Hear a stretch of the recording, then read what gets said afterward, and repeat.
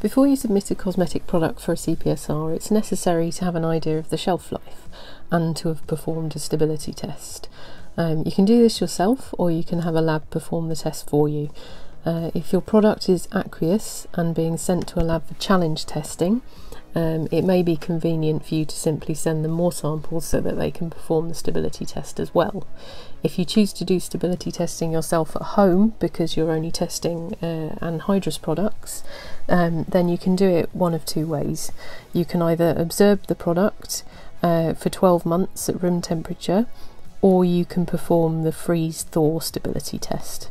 I'd actually opt for both if possible, but definitely, if not sending to a lab, perform the freeze thaw, thaw test. Um, the freeze thaw stability test was in, designed to ensure that products remain stable at drastic and sudden temperature changes. Um, this is because during transit in different parts of the country and the world, the storage temperatures and weather can change, meaning that during its shipping journey, a product can be exposed to many fluctuating temperatures this can affect the product, obviously. Um, this test is designed to check if it does uh, does affect it and to what degree. It was advised uh, that to that if performing this test at home, then a cycle um, like this should be sufficient. Um, first, retain a sample of your product at room temperature as your control sample. Just put that on a shelf in your your lab or workroom. Then freeze three or more of your products in the finished container or packaging for 24 hours. When 24 hours is, is up, remove from the freezer and leave at room temperature to thaw for 24 hours.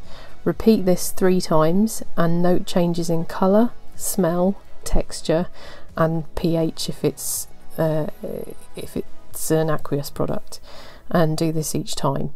If there's no change on the final 24 hour thaw, then you can assume that your product is stable for a maximum of six months shelf life. I will say here, because I know you'll ask, doing this twice will not give you a shelf life of 12 months. Um, to achieve this, you'll either need to observe it for 12 months in real time or submit it to a lab for an accelerated test. Um, an accelerated test normally takes three to four months, but obviously it does come with a price tag. Um, however, if you read journals on the three freeze thaw method, uh, they suggest an additional step. The reason that it's not suggested to small cosmetic businesses is that because it's often impractical to be able to heat the product um, for that long and for, because it's a safety concern. Um, this is a benefit of sending your product to a lab as they can do this safely. Um, the process they would do is thus um, they retain a sample of your product at room temperature as a control sample, freeze three or more of your products in the finished container packaging for 24 hours, remove from the freezer and leave at room temperature to thaw for 24 hours. Then they would put samples in an oven at over 50 degrees C for 24 hours. Remove the samples and allow to come back to room temperature. That would be repeated three times and note changes as stated above. As you can see, putting a product likely in a plastic container in an oven for, for over 24 hours is not only unsafe in a home or a small business premises environment, but also expensive to keep your oven on for that length of time, especially when repeating it three times. Um, I'd advise to stick with the simple freeze thaw method, as I've been told by a lab that this is acceptable. If you want a shelf life of more than six months, then either observe your product at room temperature for 12 months in addition to the freeze thaw, or send samples to a lab to do the accelerated testing. Accelerating testing usually takes around 3 months for a 12 month shelf life, assuming that the product is stable. If you notice any changes, draw yourself up a table a bit like the one in the blog, which I've linked below. Um, record your data for your control sample and then each time your product has finished one of these freeze thaw cycles um, you record that data. It may not have changed at all or it may have changed just slightly. If you notice any significant changes after the first and second cycles then I would advise revisiting your formula and looking at what may have caused those changes.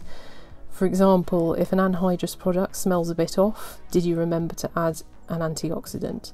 Has the colour or texture changed? Did you check if any of your ingredients were unstable at certain temperatures? You want to ensure that your product is safe for use, so remember your CPSR assessment only checks that your recipe and any con and for any contraindications. Uh, they do not sample the product unless challenge testing, so you must ensure your stability testing is truthful and accurate. Um, whatever stability testing you do, always keep a sample of the batch with the number and date stored at your lab. It's a good uh, to observe samples of everything you make to ensure that they are performing as expected. Um, but doing this, you can notice any changes in batches as they happen. Uh, they may be down to an ingredient and a manufacturing error or something, something else. Um, the safety of your customers is paramount.